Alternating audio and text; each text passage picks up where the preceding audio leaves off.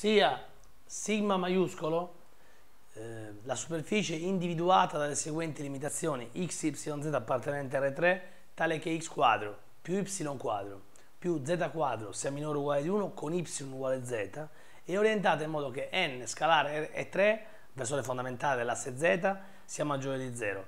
Sia inoltre v da R3 a R3 il seguente campo vettoriale v di x, y, z pari a 0 meno x quadro 2y quadro. Le domande A calcolare il flusso di V attraverso sigma maiuscolo e calcolare la circuitazione di V eh, intorno alla frontiera eh, della superficie sigma.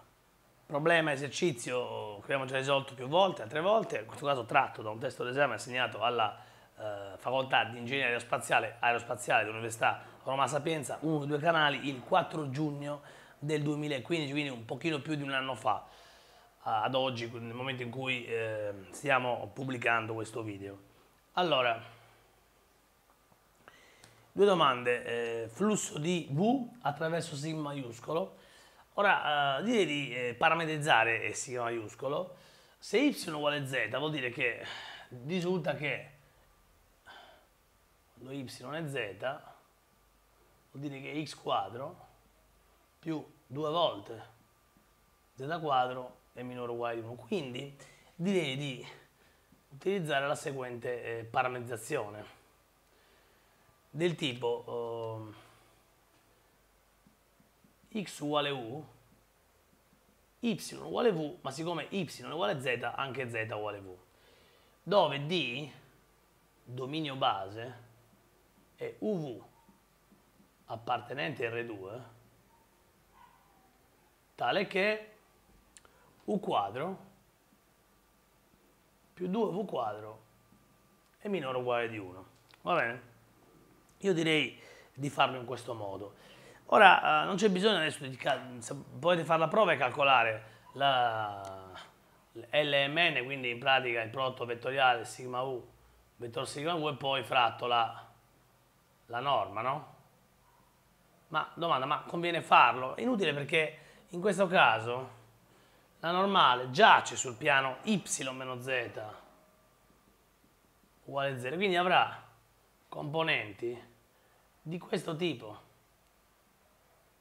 0, 1, meno 1 fratto alla radice quadrata di 2, cioè fratto alla radice quadrata di 0 al quadrato più 1 al quadrato più meno 1 al quadrato, 1 più 1, 2 più 0, 2, eccolo qua.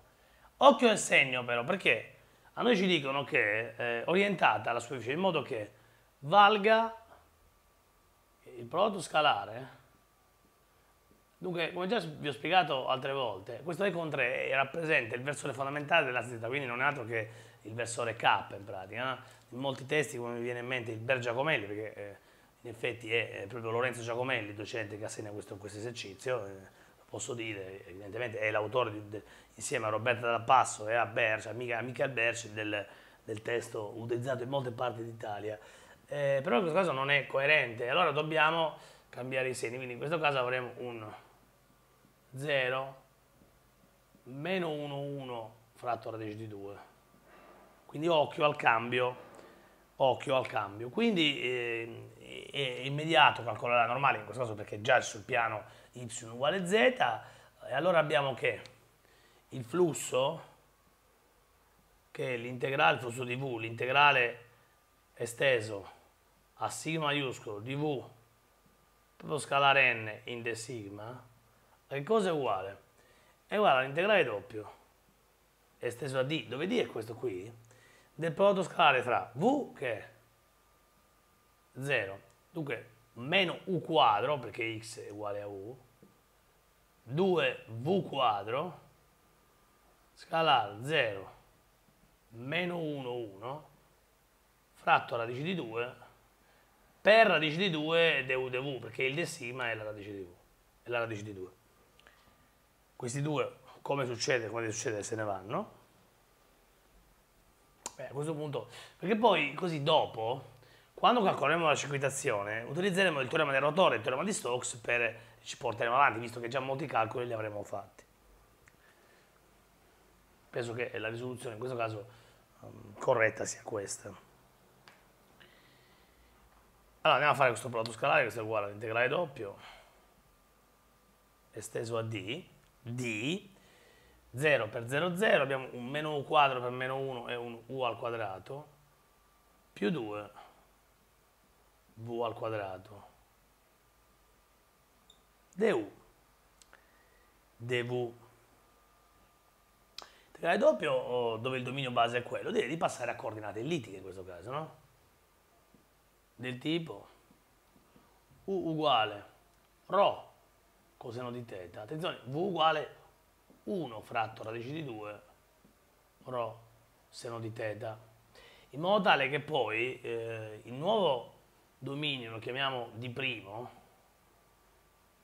sia del tipo ρ θ appartenente a R2, tale che Rho quadro con squadro teta. Dunque 1 fatto da 12 al quadrato è ehm, un mezzo, due mezzi e 1, più rho quadro sen quadro teta minore o uguale di 1, che raccogliendo a fattore comune 1 rho al quadrato, ci rimane sempre cos quadro teta più sen quadro teta che è 1.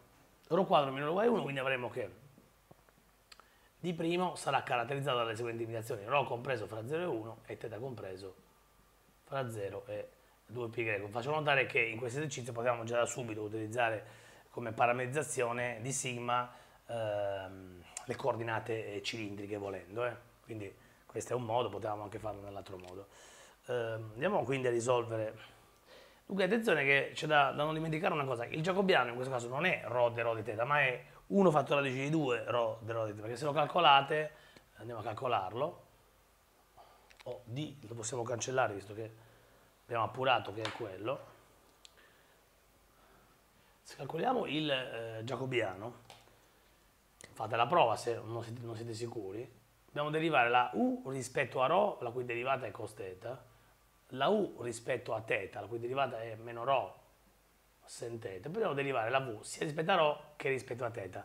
Derivata di v rispetto a ρ è un 1 fratto radice di 2 eh, sen θ, derivata della v rispetto a θ è 1 fatto radice di 2 ρ cos, 1 fatto radice di 2 ρ cos θ.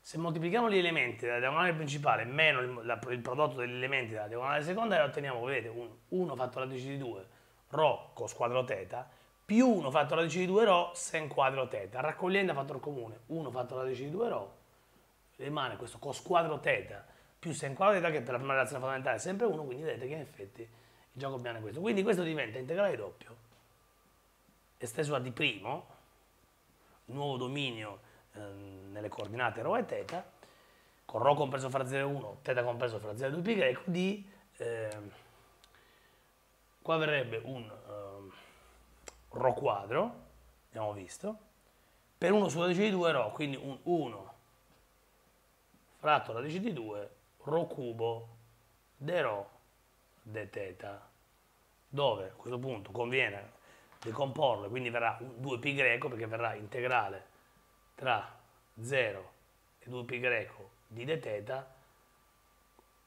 per l'integrale fra 0 e 1 di 1 fratto radice di 2 ρ cubo de ρ.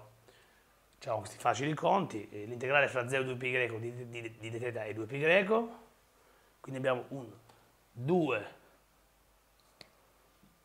π greco fratto radice di 2 che moltiplica l'integrale di ρ al cubo che ve lo ricordo è ρ quarto quarti.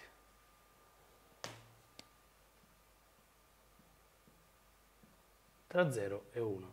Ma ρ quarto quarti tra 0 e 1 è un quarto meno 0 quarti, quindi è un quarto. Quindi in pratica abbiamo che 2 su radice di 2 razionalizzato è radice di 2, otteniamo radice di 2 pi greco quarti. E questo è il, ehm, il risultato, ovvero il flusso di V attraverso sigma maiuscolo. Per calcolare a questo punto la circuitazione conviene utilizzare, come detto, il teorema di Stokes, il teorema del rotore. Anche perché abbiamo già fatto alcuni diciamo, i, calcoli, i calcoli più importanti, li abbiamo fatti. Allora abbiamo che per il teorema di Stokes, ve lo ricordo, l'integrale circuitazione, cioè l'integrale curvilineo esteso alla frontiera di sigma di V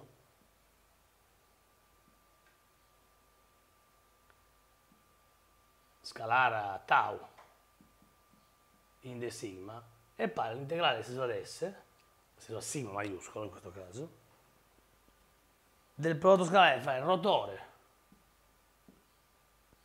di V e la normale in d sigma. Dunque la normale la conosciamo, il d sigma è radice di 2 lo conosciamo, la normale è, prendiamo da, da, dai conti precedenti, è un 0 eh, meno 1, 1 fatto radice di 2, per radice di 2 semplificano, dobbiamo calcolare il rotolo V.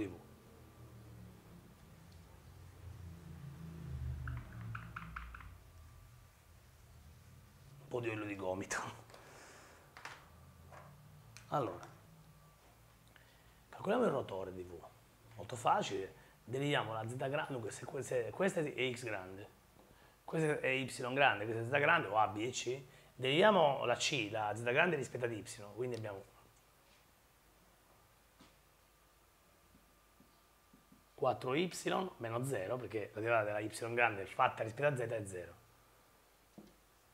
Derivata della x grande fatta rispetto a z che è 0, meno la derivata della z grande fatta rispetto a x che è 0, quindi 4y 0.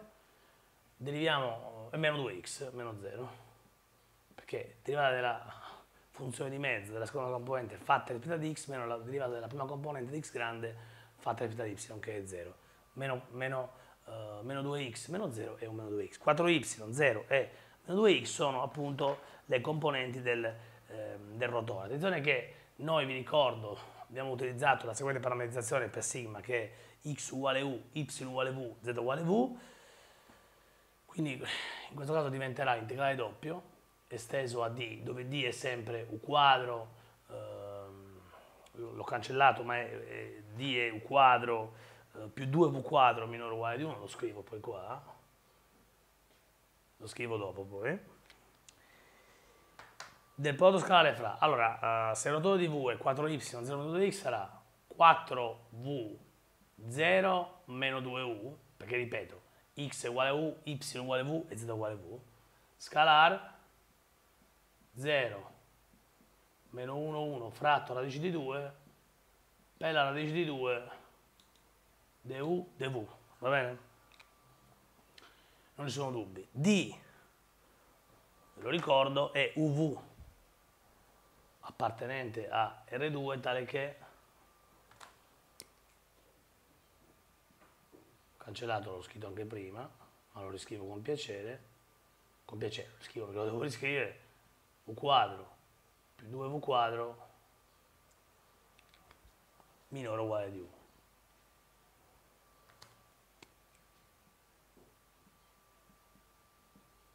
Dominio base che abbiamo ottenuto in pratica ponendo visto che y uguale z viene x quadro più 2z quadro minore o uguale, ma che vuol dire u, visto, che abbiamo posto x uguale u, y uguale v, z uguale v, in pratica u quadro più 2v quadro minore uguale di 1. Questo integrale viene uguale, integrale doppio esteso a d, Vediamo di che cosa, di questi due ovviamente se ne vanno. 4v per 0 è 0, 0 per meno 1 è 0, meno 2u per 1 è meno 2u. Ma guardate un po' che succede. Questa qui è un'ellisse di semiassi 1 ed 1 fatto radice di 2. E quindi presenta sicuramente una simmetria sia rispetto all'asse u che rispetto all'asse v. Ma questa è una funzione dispari rispetto a u. Questo integrale ovviamente è 0 per ovvi motivi simmetrici. Ultimamente eh, qualche uno studente mi ha mm, un po' stalkerizzato, mi ha eh, fatto alcune domande su, eh, sulle simmetrie. Eh, ragazzi, se avete dubbi, guardatevi la, la, il video di spiegazione eh, teorica, spiegazione introduttiva sulle simmetrie, che è un video che non è che mi sono inventato io, è un video che eh, trovate anche in molte dispense online di docenti universitari, eh, esimi docenti universitari e anche nei testi. I testi un po' meno, ma sono cose che non mi invento io, le, le, le regole che vi do, quello che vi dico, non è che me le invento io, eh, viene fuori da, non è che devo portare per forza sempre le prove, devo fare la, lo scanner della fotocopia del, del testo da, da, quale prendo, del docente da, dal quale mi, mi nutro, non c'è bisogno. Se ve lo dico vuol dire che è così. Quindi non è che alcune domande nei post mi fate ma è sicuro che così, ma il mio professore mi ha detto. Ragazzi, poi eh, vi do un consiglio, se giustamente avete dei dubbi in merito a quello che vi viene detto in questo canale, eh, rivolgetevi al vostro docente, vedrete che le cose andranno a collimare, cioè andranno a coincidere. Eh, poi il linguaggio può essere un po' diverso, alcune terminologie, alcune metodologie, però alla fine sempre quello è. Quindi eh, ricapitolando, il, eh, abbiamo calcolato il flusso di V attraverso, attraverso sigma maiuscolo, in questo caso la circuitazione di V attorno alla frontiera di sigma maiuscolo vale 0.